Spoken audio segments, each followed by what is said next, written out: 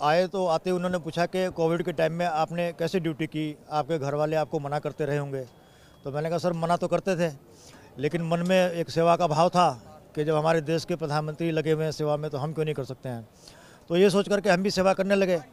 और वो दौर तो बहुत ही खतरनाक दौर था कि लोग घर से बाहर नहीं निकलते थे, इतने भयभीत थे लोग। और उस दौरान हम लोग आकर के यहाँ पे रातों दिन मेहनत करते थे ड्यूटी करते थे। तो आज पीएम मोदी जी से मेरी मुलाकात हुई, मेरी बात हुई।